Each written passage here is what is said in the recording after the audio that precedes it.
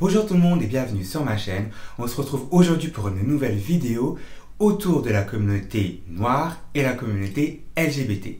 Cette vidéo est en lien avec la première que j'ai faite intitulée Gay et Noir.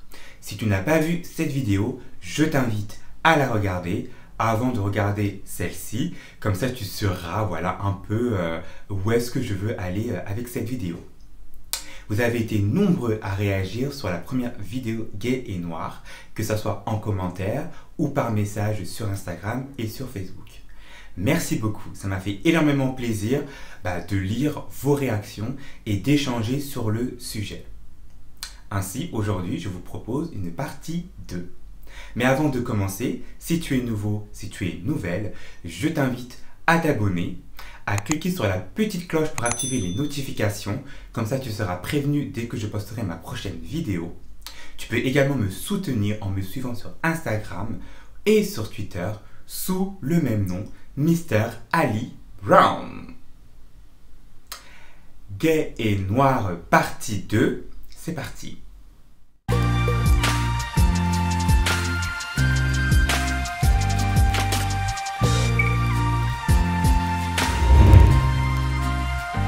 Suite aux événements qui se sont produits fin mai, début juin, avec l'affaire George Floyd, Brianna Taylor et Adama Traoré en France, on a pu voir le mouvement Black Lives Matter gagner en puissance, se renforcer, montrer son influence à l'échelle internationale et faire entendre sa voix partout dans le monde.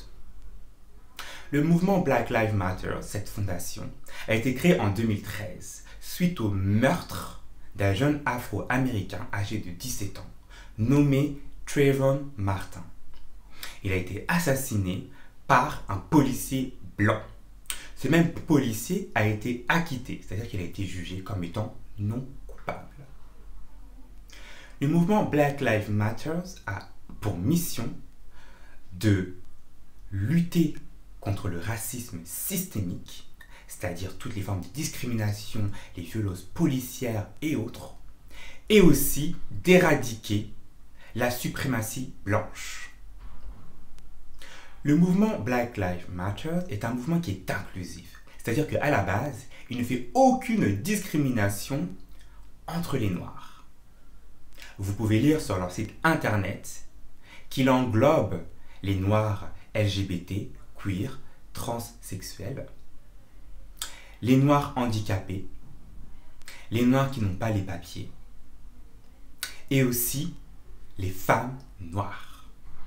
Encore une fois, dans le mouvement Black Lives Matter, il n'y a aucune discrimination. Alors je suis révolté, je suis choqué, outré, déçu de voir des noirs qui manifestent pour le Black Lives Matter mais qui ensuite se permettent d'aller persécuter, brutaliser, tuer des personnes noires LGBT, aller tuer, agresser des noirs transsexuels. Encore une fois, d'aller tuer leurs frères et sœurs noirs. Je trouve que ce genre d'acte rend le mouvement Black Lives Matter hypocrite. Ça affaiblit sa mission, ça affaiblit ses valeurs, ça affaiblit son influence. Mais ce n'est pas quelque chose qui est choquant, ce n'est pas quelque chose qui est nouveau. Aujourd'hui, j'entends encore des Noirs dire qu'il n'est pas possible pour un individu d'être noir et homosexuel. Que les deux ne vont pas ensemble. Que l'homosexualité est une maladie de blanc une maladie qui a été importée par l'Occident en Afrique.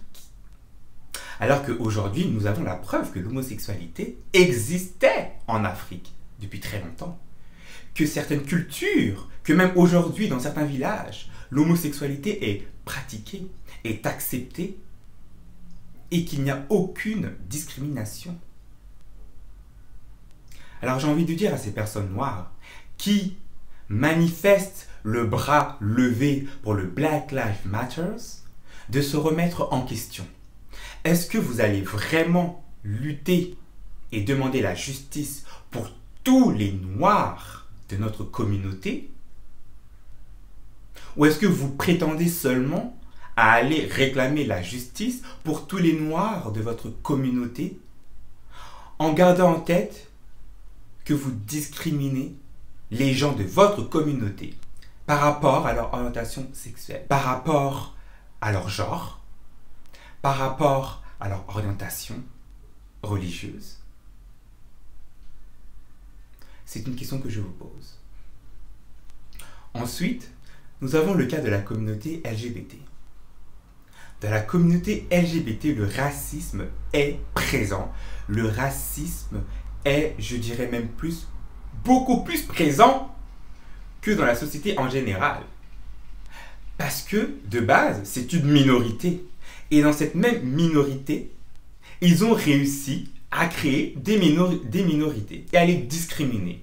Aujourd'hui, vous pouvez aller sur des sites de rencontres LGBT, comme par exemple Grindr, Hornet, et vous allez retrouver des profils qui vont vous dire, tout simplement, fièrement, sans aucune gêne, pas de noir, pas d'arabe, pas d'asiatique.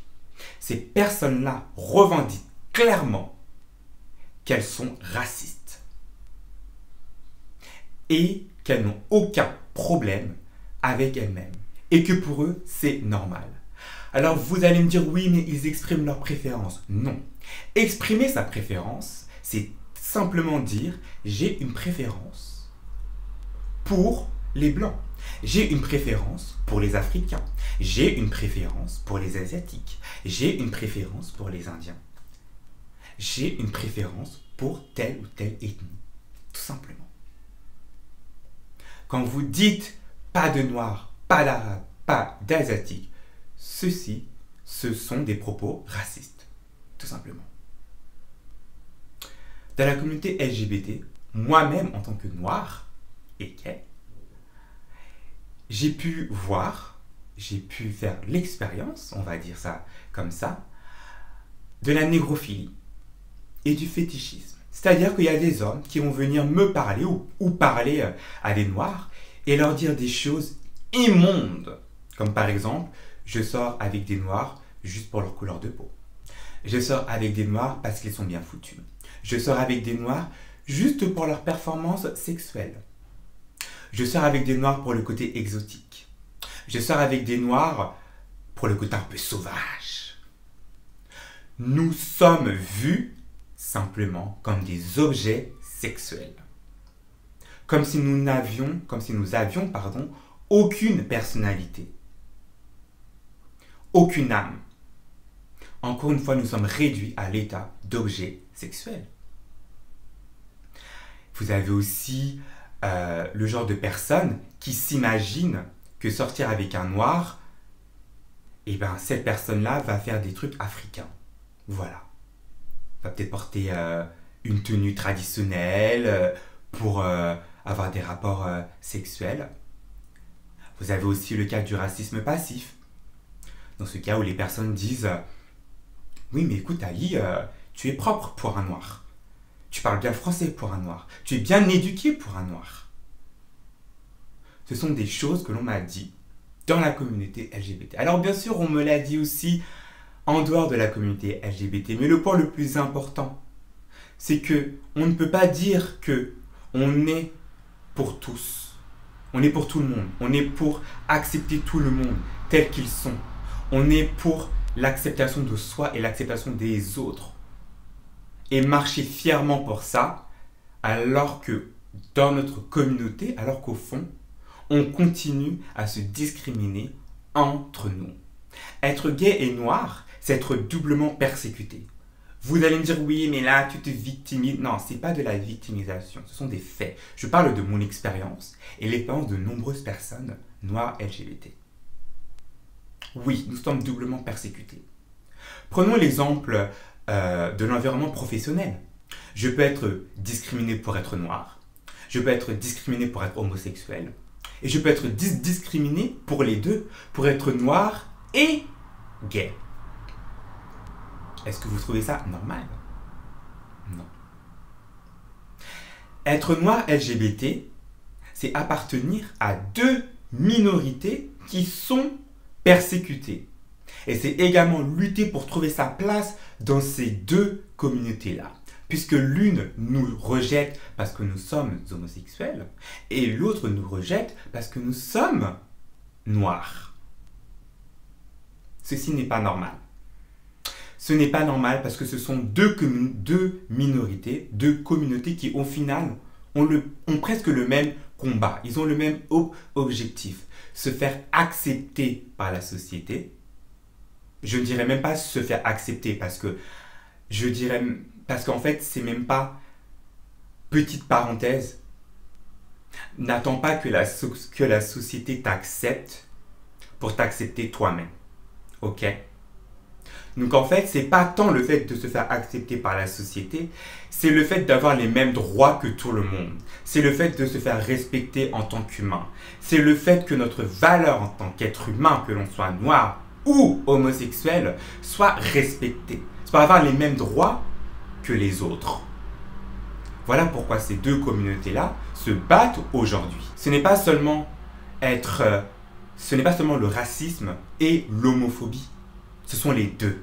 Parce que les deux vont se croiser. Il y aura une intersection. Il y aura une fusion des deux. Et comme je vous l'ai dit tout à l'heure, je peux être discriminé à cause des deux. Donc il est important pour la communauté noire de cesser de persécuter les noirs LGBT. Il est important pour la communauté LGBT de cesser de discriminer les noirs.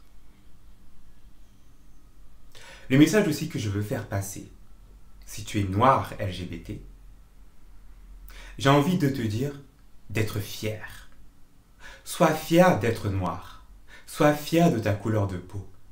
Sois fier de tes origines. Sois fier de tes ancêtres. Sois fier de ton histoire. Parce que c'est ton pouvoir. Si tu es gay, peu importe ta couleur de peau, sois fier d'être gay. Sois fier d'être qui tu es. Et si tu es noir LGBT, encore une fois, et je dirais même que là, ce message-là est pour tout le monde. Sois fier des combats que, que tu mènes. Sois fier de lutter pour prouver ta place dans la société. Pour te faire respecter par la société. Et pour avoir la justice dans cette même société. N'abandonne pas ne te décourage pas. Rappelle-toi que tu n'es pas seul. Tu n'es, tu es jamais, jamais, jamais seul. Aujourd'hui, je suis là, mais il y a plein de personnes qui font l'expérience des mêmes problèmes que tu as. Donc, n'abandonne pas. Continue à lutter pour la communauté noire, pour la communauté LGBT. Ok? Parce que à la fin de la journée, on peut dire ce, qu'on veut, nous sommes des êtres humains. Et c'est la chose la plus importante. Nous sommes des êtres humains. Nous sommes tous égaux et nous méritons tous d'être respectés pour qui on est. Si cette vidéo t'a plu, je t'invite à liker, je t'invite à la partager je t'encourage à me laisser des commentaires. Explique-moi ton expérience en tant que noir LGBT. Dis-moi si euh, tu as vécu plus ou moins la même chose que moi. Dis-moi ce que tu penses de cette vidéo. Tu peux également venir me contacter sur euh, Instagram par message. Je réponds en général assez rapidement. En tout cas, ça me ferait plaisir de vous lire, de voir euh, vos réactions par rapport à cette vidéo. On se retrouve très prochainement pour une nouvelle vidéo. Prenez soin de vous. Ciao